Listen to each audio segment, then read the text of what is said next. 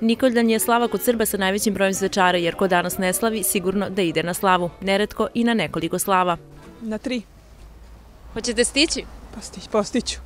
Krenuli smo na vreme. Pa danas sam pozvana na dve slave kod porodičnih prijatelja i trebalo bi posle škole da stignem zato što su nam skraćeni časovi na obe. Jedna je u šest, druga je u osam, pa bi trebalo da stignem na obe. Pozvan sam na četiri slave i ne znam da li ću stići da, da, na sve četiri. Pravilo je da trpeza bude posna jer slava spada u vreme trajanja Božićnog posta. Ipak trpeza i tekako bude raznovrsna. Pravimo sve u skladu sa posti i zbog toga pravimo i postnu sarmu, pravimo soras, ima što je karakteristična je sarma i ne prave porodice takvu vrstu sarme, a i razne vrste ribe pripremamo, imamo i šarana, dimimo ga, to je neka zamena za šunku možda, imamo razne vrste i skuše, dimljene skuše, oslić, Tako da naše goste želimo da ugustimo na taj način, a da opet ispoštujemo tradiciju. Manje seoske sredine danas obilaze tamburaši te pozdravljaju na svoj način i domaćina i goste. Slava je jedna porodična, što kaže, tradicija koju mi želimo da ispoštujemo i dalje.